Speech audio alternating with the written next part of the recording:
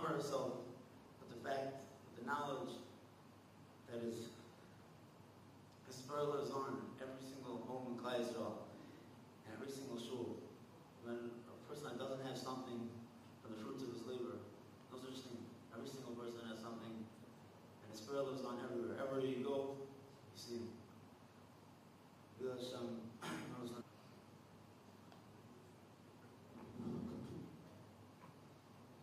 Gemara Moed Katan tells us that when Shmuel was sitting Shiva for his sons, Tarfon came to be novel and he said the following. After the Makar and Zora that have them to bring.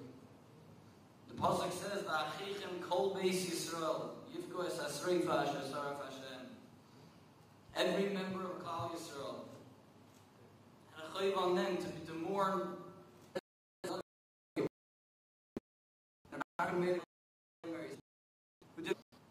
Shemar Shah explains to me that the one mitzvah, the final mitzvah they did, a mitzvah to be mezakah the rabbin, idea avoida. If because of that they were zeichet to this, that every person in Klal Yisrael had to mourn them, kal to the sons of Rabbi Shmuel, who did so many mitzvahs to be mezakah the rabbin. Allah has kama kama, how much more so are they deserving of this? Zaidi, I can't think a more appropriate person for this pasuk to be said on than you. kol beis Yisrael, every single person. Who in the world can say that they have not benefited from you? Who have you not helped? After the Batira, Mata Shabbos, Rabbi David Cohen was sitting with my family, and he was, telling them certain letters that Zaidi got he would share with him letters we never knew about, never heard of. Said one of them is from a man from New Zealand. He wrote in how he and his family were not from at all. Zero shaykhs to Judaism, nothing. But when he saw what ArtScroll did, everything they came out with, one thing at a time, he said to himself he felt like he had no excuse anymore not to be from. It's so easy. Picked himself up, together with his family, moved to Australia. He sent his kids to yeshiva, and now the whole family is from. That's just one letter. How many more people are there? Thousands who never wrote that letter. How many more wrote that letter? Because there's 80s I need to share it with us. But with all of this, with being there to help everyone and anyone who needed you and seek your guidance. With all the work that you had, the schus to take care of Klal Yisrael, to us and the family, you're always here. Always available, 24 hours a day, 7 days a week, no exceptions. So Uncle Chaim said yesterday, America, New York, by the Esprit, I'm sure every member of the family can say, I countless times we called Zaidi. Have I called Zaidi? He's in a meeting. I said, okay, I'm going to call back. He said, no, what is it? What do you need? He wouldn't hang up the phone. So you're sure everything was fine. Tell him five times, and he call you, and he call you right back, right when he finished. Every conversation that I had with him, he would end with Shmuley, you don't know how much I love you. Until one day, you'll have grandchildren. And you'll love them as much as I loved you. That's when you'll understand. We all felt as if we were the most special. He told us each that we were the most special to him. Because somehow, all of us actually were the most special to him.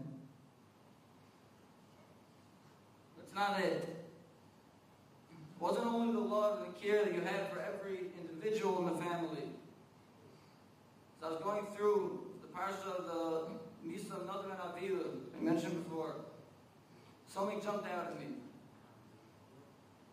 After Nadav and Avihu, the sons of Aaron were lifted. Moshe Rabbeinu called upon Rishon al Tzafan. And the Pasuk says, were Aaron and Akain's cousins. Nadav and Avihu's first cousins once removed. And Pasuk says, Moshe said, Moshe said to them, Kirvu se'u es acheichem me'ez penei HaKadosh. Remove your brothers. The Torah is teaching us a lesson. It's not just your brothers that are your brothers. It's every single member of your family, every cousin, everyone. Say that was so important to you. To build us all as one unit, as one big family. Family of Bnei Torah. And you have it. As you watch upon us from Shemayim, Rich you will continue to have it, will continue to give you nachas. Bobby, I can say on behalf of everyone in the family, without asking them, there's just no words to describe what we owe you. The love that you shower upon us, the devotion you had to it's not comprehensible. Without you, Bobby, Zaidi would not have been Zaidi. I like to be Messiah, just asking Mechila when you Zaidi. On behalf of me and my siblings, Aaron Eti, Chil, Shana, El Yechana, Asa, Tzvi, and Yosef. How many opportunities we had to spend a little extra time with you, to call you that one more time. Oh, and we didn't. And we're never going to get it back. I was talking to my brother Aaron yesterday. And he told me, as everyone said, they went to visit Zaidi on Friday. He spent time with him. He was with it. He was, everything was there. But he told me before they went, they were saying Zaidi, Zaidi was fine. Zaidi was getting better. His time was on. So we go on Sunday, Friday's the day. We'll just go visit on Sunday, we'll spend time then. But he said no, and he went on Friday. Told me what a lesson it is to us. Every opportunity that comes our way, not to push it off, take it. Because you might never get it again. I can't believe I'm not going to be able to go knock on Zadie's door, be greeted with that smile. I miss you so much. I love you. We all love you.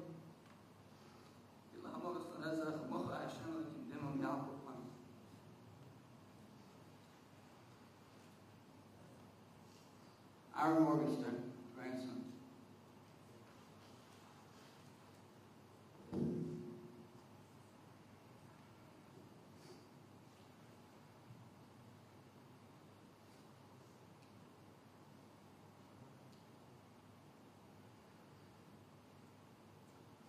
Parashas Yisro, the it's talking about Moshe Rabbeinu, Moshe Rabbeinu's two two children.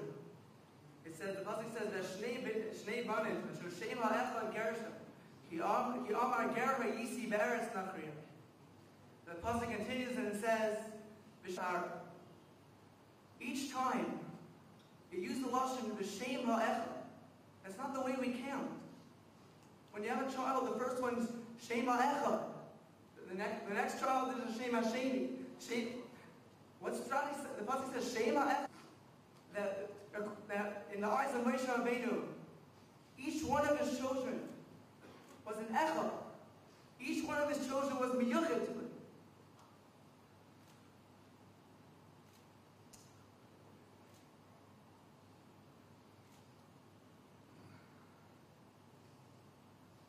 When we speak about Zaydi Zlotowitz, each child was a Ben Yachid. Each grandchild and great grandchild was a Ben Yachid, Bas Yechida. Each member of Klal Yisrael a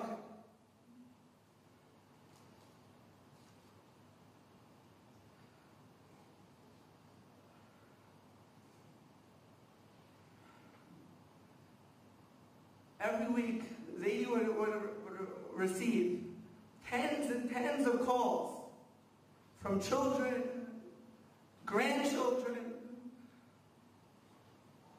people who weren't even related but referred to him as Uncle Meir, friends. Everyone called him. He had a connection everyone.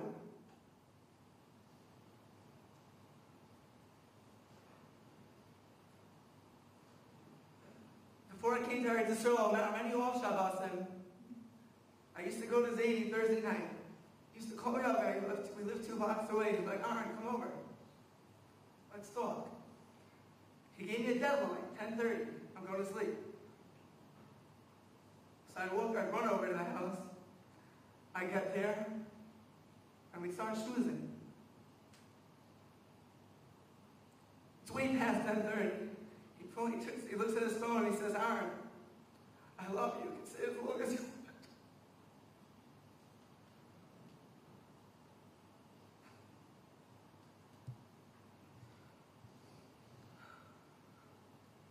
I always wondered,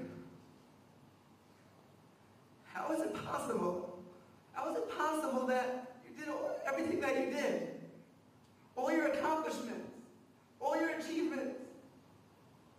You were always with us. You, you, you answered every call. Where did you have time to do this?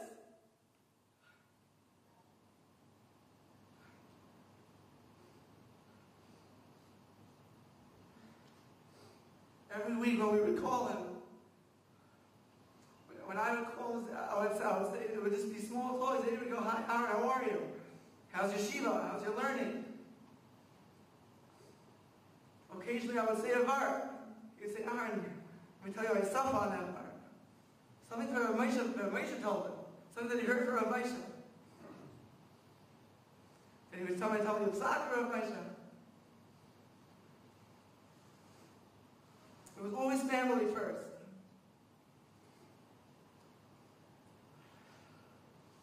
I was going through a couple of months ago, I was going through a wrong decision. He knew about it. I walk into his house on Yom Kippur. I just started crying. He walks into the room. He looks at, he just, he walks over to me and just give me, give me that hug. A hug that required no words. It was a hug from Zeke. After hugging me tightly for a couple of minutes, he said, Don't worry. Everything will be all right. It was. He had a pride in every single one of us. Every single one of his children, every single one of his grandchildren. All of their achievements, anything that they reached, it made him so happy. He attended once Chabura of mine yeshiva. He stood there, he sat there the entire time, smiled from ear to ear. He referred, he, referenced that to that Chabura many times afterwards. Just to be mechazik and tell me, Aaron, that Chabura. I never heard anything like it. He basked in the nachas of all of us. His pride in us was so much that he truly made us feel that it was his honor to be our grandfather more than, was, more than it was his, our honor to be his grandchildren. All of us, we used to grow, we used to grow up, and everywhere we used to go, everyone used to turn to us and say, "Your Rabbi his grandson." Wow, it's amazing. They were always referring to his achievements, how he affected the whole world with his farm, books. What they didn't realize was the fact that it was the grandfather's true love that he displayed to us despite the fact that he was Rabbi Zlotowitz to all. Because for us, he was always Zadie Zlotowitz. Pirkei Avos, the Mishnah says, Im ein ani anili mili, ukshanila atzmi va'ani, imlay akshav, ein lasai." He knew who he was. But he realized, I can share myself to my children. I can share myself from myself to the grandchildren, great-grandchildren. I can share for myself to the ganz Klal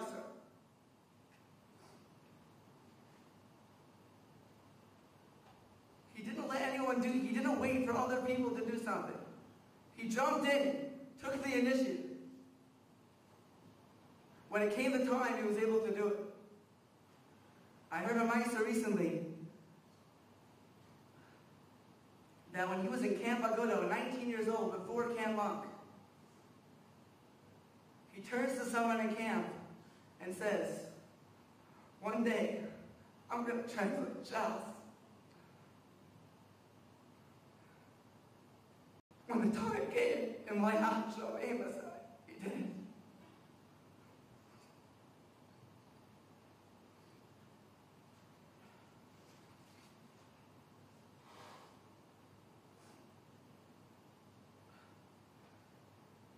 it. Was amazing to all of us, all of us grandchildren, to see the display of Kibbud Av Va'em that each one of our aunts and uncles, my parents showed and displayed to Zadie.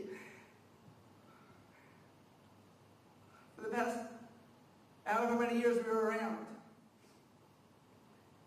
Answering every call that, that he needed, doing everything for doing everything that, he, that, that was possible for them to do. Mommy and I, my parents moved, my parents moved recently to about two blocks away. They opened the door Friday nights every morning, supper. Say, dear mommy, just come, just come. Whatever you need, we'll do for you. And most recently, in the past two weeks, all the children, how they took care, how they spent those hours, each one taking those hours in the hospital. Non-stop devotion is something that will take, that all of us will take, will take it for us forever. Bobby, you were always there for Zadie, catering to every one of his needs. We love you. We're here for you. Stay strong.